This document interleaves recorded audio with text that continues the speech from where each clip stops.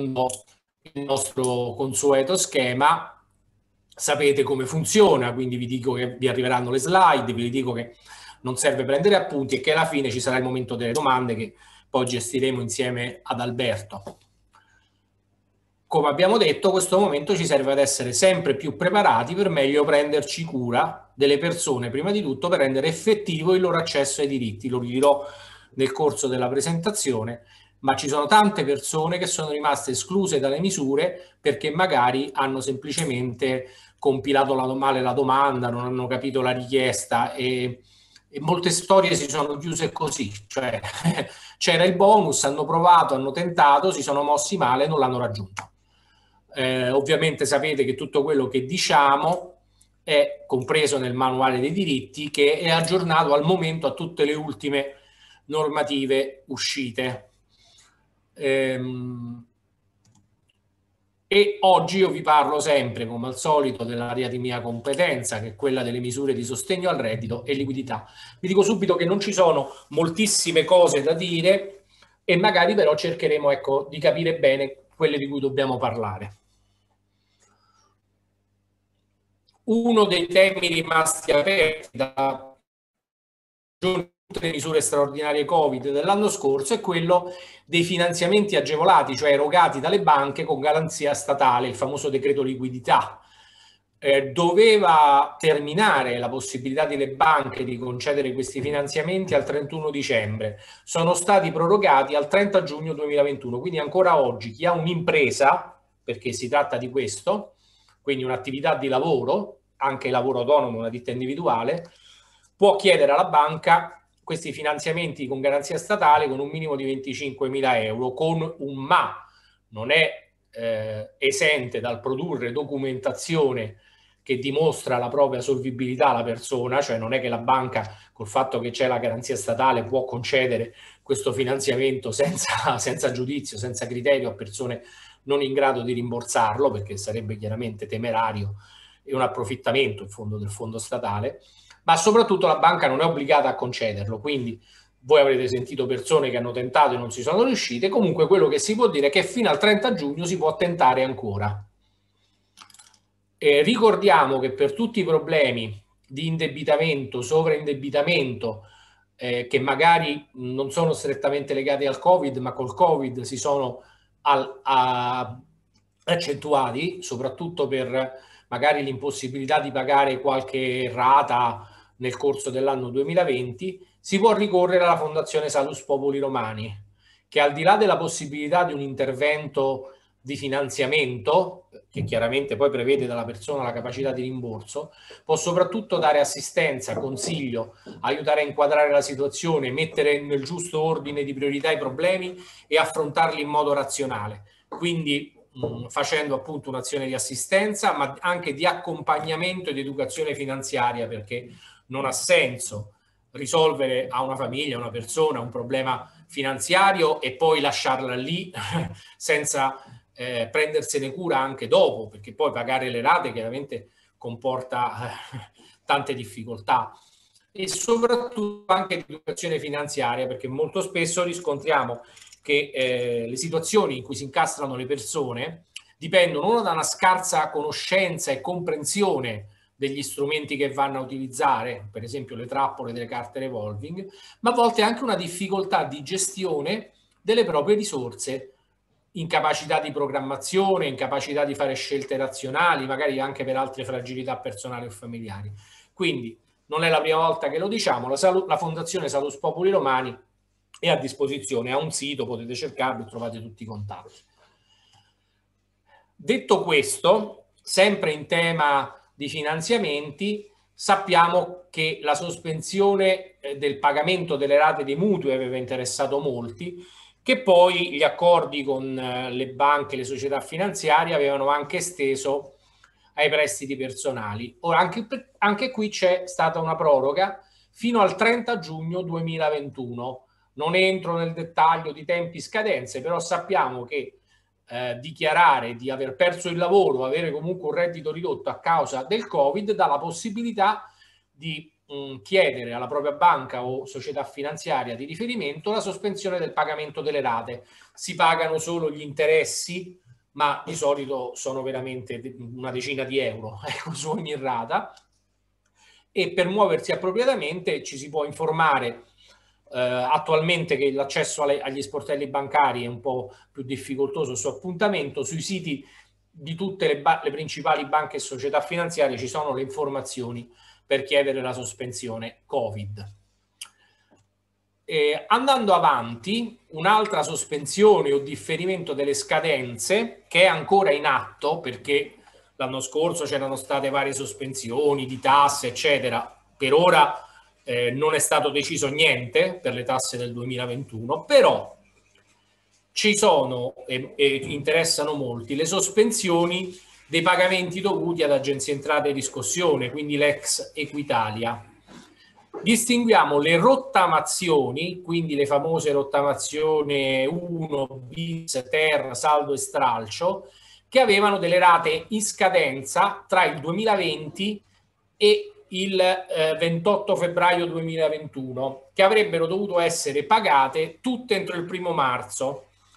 Ora, eh, proprio il giorno stesso che abbiamo fatto il primo incontro la scorsa settimana, era stato detto che il MEF aveva annunciato un provvedimento di riferimento del termine del primo marzo, cioè già scaduto.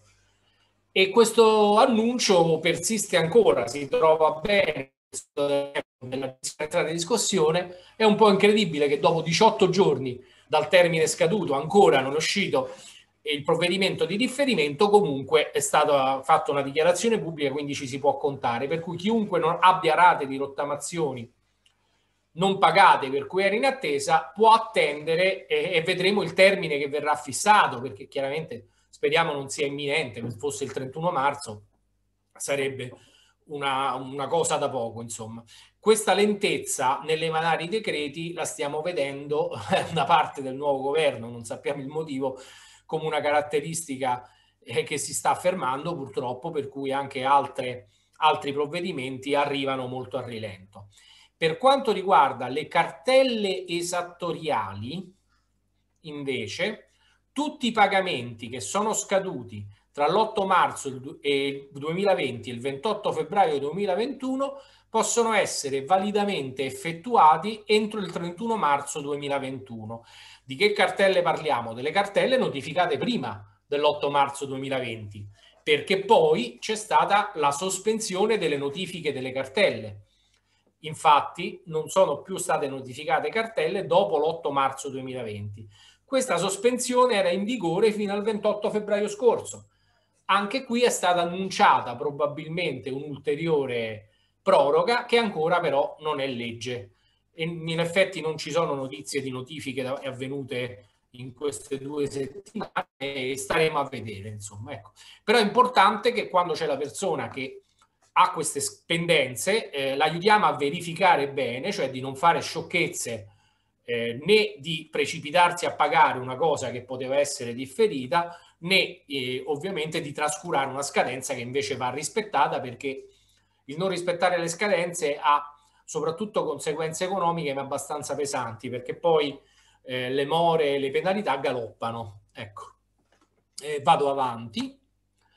Parliamo della cassa integrazione, l'altra misura che ancora spiegato come funziona, che insomma era un ristoro limitato, specialmente per chi aveva contratti part-time o eh, retribuzioni molto alte, si trovava, eh, cioè, o comunque più alte del minimo, si trovava eh, penalizzato. Comunque, la legge di bilancio 2021, quindi a fine anno 2020, aveva stabilito 12 settimane ulteriori di cassa integrazione dal 1 gennaio 2021 e fino al 31 marzo alcuni fondi particolari, la CIG in deroga, potevano, possono, potevano godere queste 12 settimane addirittura fino al 30 giugno.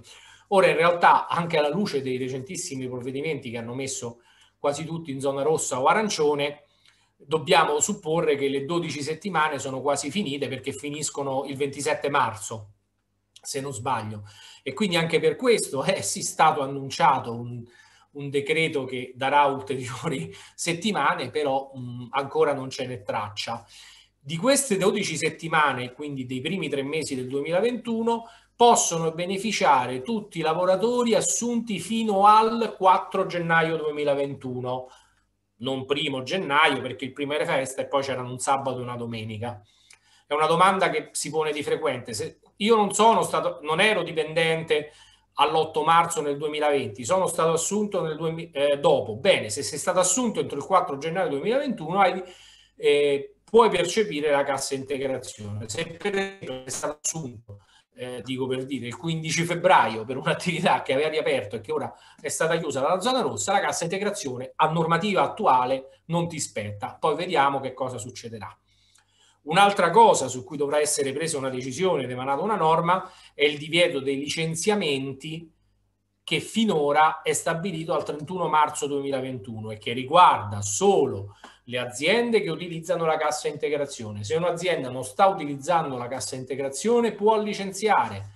Se un'azienda chiude eh, un, uno stabilimento, una sede, eh, può licenziare. Se un'azienda chiude completamente perché cessa di licenziare. A questo proposito vi dico anche che oggi voglio darvi un flash perché lo scenario l'abbiamo già trattato la volta scorsa, ma eh, il giorno dopo del precedente incontro, l'Inps ha pubblicato la nota sul mercato del lavoro nel quarto trimestre 2020, che ci dà proprio, ve lo dico brevemente, la dimensione della situazione. Cioè, nell'anno 2020 si sono perse il 9,3% di unità di lavoro di dipendenti e il 12,8% di unità di lavoro degli, le chiamano indipendenti, categoria in cui mettono un po' tutti quelli che lavorano con un contratto precario, magari di collaborazione o con partita IVA. E in particolare nel quarto trimestre le perdite di posti di lavoro sono 383.000 dipendenti, 129.000 indipendenti. Il part-time involontario, cioè questa realtà specifica italiana in cui l'azienda ti assume part-time perché fa delle valutazioni di convenienza per ridurre l'impegno economico, eh, magari chiedendoti di lavorare in quattro ore ma producendo come se ne lavorassi otto, e addirittura riguarda il 65% delle persone con contratto part-time. È una grossa stortura del nostro mercato del lavoro. Il tasso di inattività, cioè la percentuale delle persone tra i 15 e i 64 anni, che quindi sono come la cosiddetta popolazione attiva, che non lavorano, è in media il 35,4% a fine 2020, di cui circa il 26% uomini e circa il 45% donne. Dato che aumenta, questo l'abbiamo sempre detto per le donne e per i giovani, al sud addirittura le donne inattive sono il 59,3%. I giovani tra i 15 e i 24 anni inattivi sono il 6,4%, di cui circa il 71% uomini e 82,5% donne. Quindi l'inattività dipende dall'età, più i giovani inattivi, dipende dal sesso, sono di più le donne inattive, dipende anche dal titolo di studio. Vedete che la percentuale di persone inattive è molto alta fra chi ha solo la licenza media, la metà, scende al 30% per chi ha un diploma di scuola superiore, scende al 17% per chi ha una laurea. E il totale, per dare una dimensione, che deriva da tutto questo, di persone che non cercano lavoro e non studiano, pur essendo in età attiva, sono 10 milioni e mezzo, di cui 3 milioni e 600 mila uomini e 6 milioni e 850 mila donne. Questi dati che cosa ci dicono? C'è la CIG, e certo per chi un lavoro ce l'aveva, c'è la NASPI, per la disoccupazione di chi un lavoro l'aveva l'ha perso. Cosa manca? Mancano le politiche attive per il lavoro. Non bastano gli incentivi e non bastano gli ammortizzatori sociali. Queste persone hanno bisogno di lavorare, dovrebbero lavorare in un'economia sana, perché questo contribuirebbe appunto al bene comune e al benessere di tutti. Solo sempre a livello di flash ci sono i grafici che poi ci rendono a livello visivo bene il concetto che stavamo vedendo, gli occupati per genere, cioè uomini e donne, vedete questo andamento eh, dagli anni 2015 a 2020, vedete che ehm, le variazioni degli occupati eh, seguono sempre la regola del sesso, soprattutto nel 2020 in cui le perdite di unità di lavoro, specialmente nei primi due, nel secondo e terzo trimestre, sono state drammatiche per tutti, vedete questo grosso picco verso il basso, ma soprattutto per le donne. Così come per territorio è evidente la grossa flessione che c'è stata nel mezzogiorno, così come per classi di età, quello che vi dicevo prima, grandi perdite di occupazione nella fascia 15-34 anni nel 2020, così come anche eh, questa situazione degli inattivi che non cercano lavoro. È una realtà molto particolare, vedete quanto sono aumentati nel 2020, cioè le persone che non hanno un lavoro, non lo cercano e non studiano. Tutto questo ci dice sostanzialmente la cosa che già sappiamo, che le disuguaglianze stanno aumentando, i divari territoriali di genere e di età sono aumentati, la forbice che si allarga, come sempre avviene quando c'è uno shock in un sistema economico. Bene, eh, oltre alle indennità quindi eh, di, di, di cassa integrazione per i lavoratori dipendenti, questo è stato l'anno di tutti i bonus, i famosi bonus da 600 barra 1000 euro che hanno riguardato tutte queste categorie che sono scritte qua. Eh, I collaboratori sportivi li ha pagati il CONI e anche le guide turistiche le ha pagate il Ministero per i beni e le attività culturali e turistiche. Tutti gli altri li ha pagati l'Inps. Sostanzialmente entro novembre 2020 sono state liquidate le ultime categorie più particolari che erano state aggiunte, come per esempio fra gli ultimi pescatori autonomi, e grosso modo anche chi aveva fatto ricorso non era stato pagato, eh, qui c'è stata una gestione della comunicazione e anche della lavorazione delle pratiche, come sempre molto burocratica da parte dell'Inps in cui la persona non è stata eh, abituata ad accedere, aiutata ad accedere, perché l'amministrazione interpreta il proprio compito come semplicemente se la tua richiesta ha dei problemi io la boccio e veramente eh, più del 90% delle richieste di riesame sono rimaste inascoltate pure se molte erano molto molto fondate. Io personalmente ne ho viste altre.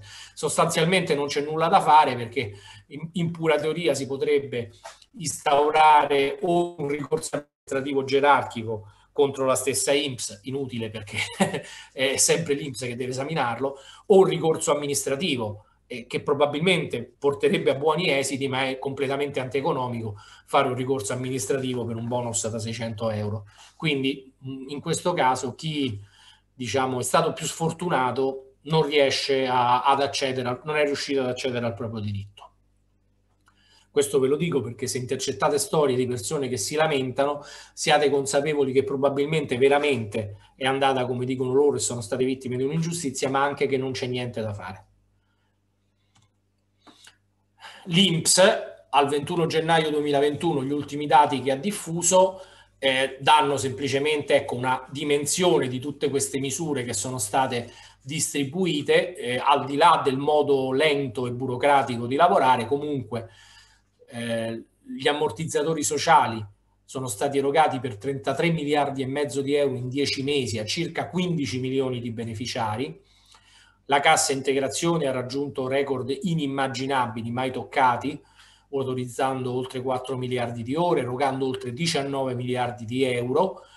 Eh, I beneficiari, più o meno la metà, hanno avuto il pagamento anticipato dall'azienda e questo ovviamente è stato mh, alla scadenza consueta dello stipendio. Quelli con pagamento diretto dell'INPS, diciamo che se dal cielo sono stati aiutati, più o meno l'hanno ricevuto dopo due o tre mesi, quindi la cassa integrazione di aprile 2020 l'hanno ricevuta tra giugno e luglio. Eh, ci sono lungaggini dei sistemi che adesso non, non ci mettiamo a, ad addentrare, ci sono grandi promesse di trovare un sistema più efficiente e automatizzato eh, di cui però chi parla a livello politico sicuramente ha la buona intenzione di raggiungere questo risultato, però temo che non sappia di che cosa sta parlando perché invece chi ha lavorato nel campo sa bene come funzionano le cose e non si può immaginare che un'amministrazione comunque organizzata e strutturata in un certo modo improvvisamente diventi un'altra. E le altre misure Covid-19, i bonus appunto da 500, 600 e 1000 euro, 4 milioni e 200 mila beneficiari, 1 milione e 300 mila domande di bonus babysitting che sono stati concessi ai genitori nel periodo in cui le scuole eh, per materne dell'infanzia elementari sono state chiuse, sono stati rinnovati anche ora per l'attuale chiusura nelle zone rosse 250.000 estensioni di congedi parentali, legge 104, sempre per gli stessi motivi, e anche i 215.000 bonus erogati a lavoratori domestici, categoria dove purtroppo sappiamo che c'è un'alta incidenza del lavoro nero e quindi probabilmente avrebbero dovuto essere forse più di 600.000, ma eh, la dignità del lavoratore in nero viene gravemente calpestata perché non ha diritti. E infine anche, ci ricorda l'Inps, ne parleremo più avanti, che nel 2020 un milione e mezzo di nuclei familiari e quindi circa 3 milioni e 100 mila cittadini hanno potuto beneficiare della nuova misura del reddito di cittadinanza. Il reddito di cittadinanza, che sappiamo nasce nel 2009 come misura di contrasto alla povertà e eh, si compone di due quote, spese di sussistenza, massimo 6.000 euro anni, 500 euro al mese, con anche la possibilità di aumentare nel caso della presenza di membri con disabilità, una quota aff- per affitto mutuo, eh, l'ISE mh, inferiore a 9.360 euro anni, salvo eccezioni sempre a seconda della composizione del nuovo familiare, durata di 18 mesi. A ottobre 2020, per la prima volta, chi ne aveva beneficiato e ne aveva ancora i requisiti, ha dovuto presentare le domande di rinnovo eh, appunto perché era scaduto. Questo è importante saperlo, lo abbiamo detto a suo tempo. L'Inps non avvisa, semplicemente uno si trova che dal mese X non ha il pagamento. La norma prevede che ci sia un mese di sosta, ma quando sai che ah, scade devi seguire la cosa e andare subito a ripresentare la domanda tra l'altro, anche per chi ha il pagamento in corso, a gennaio 2021 ha dovuto presentare il nuovo ISE e anche lì non c'era un, eh, un automatismo per cui ti viene richiesto. Il sistema va a vedere se tu hai un ISE valido. Nel momento che tu non hai un ISE valido, perché quello 2020 è scaduto, ti blocca il pagamento. Il rimedio è semplicemente andare al patronato, al CAF, oppure eh, col nostro aiuto, farselo da soli, sempre col famoso SPID, accedendo sul sito dell'Inps perché si può richiedere in autonomia e una volta che l'Inps è valido, in automatico il pagamento viene ripristinato. Vado avanti, poi tanto potrete fare domande. L'ultima pagina è stata quella dei contributi a fondo perduto, il famoso decreto di agosto, e, ehm, che ha dato la prima grande platea di contributi e poi i decreti di stori fra ottobre e novembre, e il decreto rilancio, quindi ad agosto, aveva consentito il pagamento di questi primi contributi che, lo ricordo, sono eh, parametrati sulla diminuzione del fatturato tra aprile 2020 e aprile 2019 di almeno il 33%, parametro un po' limitato che può dare luogo a esclusioni o inclusioni abbastanza casuali perché uno magari in quel mese ha avuto dei fatturati eh, particolari. E nel ottobre 2020 è stato pagato in automatico a tutti coloro che già avevano ricevuto il primo ristoro, il primo contributo a fondo perduto, le cui attività erano state eh, limitate dai DPCM appunto di ottobre e novembre, quindi eh, c'era una tabella dei codici di attività e l'agenzia delle entrate l'ha pagato in automatico. Doveva fare domanda solo chi aveva aperto dopo marzo 2020 e, eh, e aveva l'attività in essere dal 25 ottobre 2020, non 2019 come scritto nella slide, c'è un refuso che copriamo. E, eh, però appunto chi ha fatto domanda entro il 15 gennaio, grosso modo da quello che sappiamo, sono stati effettuati tutti i pagamenti che erano di 1000 euro minimo per persone fisiche e 2000 euro per società ed enti. Eh, I giornali parlano insistentemente di questo tema, per cui di continuo ci sono persone che dicono è uscito il nuovo ristoro, voglio fare domanda. No, non è uscito il nuovo ristoro. Qui il decreto è in clamoroso ritardo perché a gennaio il precedente governo aveva promesso, poi sono cominciate le difficoltà, siamo a marzo e ancora non se ne parla. È evidente che chi è in difficoltà ha un estremo bisogno, mentre magari non protesta chi non ha tutta questa difficoltà. Come sempre eh, la, la, mancanza degli ammortizzatori sociali accentua le disuguaglianze, per cui chi è più penalizzato è proprio chi avrebbe più bisogno. Speriamo che arrivi prima possibile anche qui sono stati previsti meravigliosi automatismi e tempi veloci, speriamo bene. Detto questo, io per oggi ho finito. Vi avevo promesso che sarei stato breve. Come sempre, eh, il riferimento è il manuale dei diritti. Noi siamo sempre disponibili a continuare a assistervi. Adesso ascolteremo le domande e vi do anche un annuncio, uno spoiler, che Prossimamente stiamo già mettendo in cantiere una sezione pensioni del manuale operativo, che non sarà un manuale completo perché sennò dovremmo scrivere un'enciclopedia, però ci siamo resi conto che c'è un'esigenza di capire meglio le, le situazioni delle persone che a volte possono essere intricate, quindi per questo vi diciamo di restare sintonizzati. C'è sempre la mail coordinamento covid chiocciolacaritasroma.it per proposte, critiche, suggerimenti e soprattutto richieste di chiarimenti che noi accogliamo sempre con piacere, è stata molto utilizzata finora. Quindi grazie per l'attenzione e la pazienza. Siamo alla fine, io interrompo la condivisione e non so se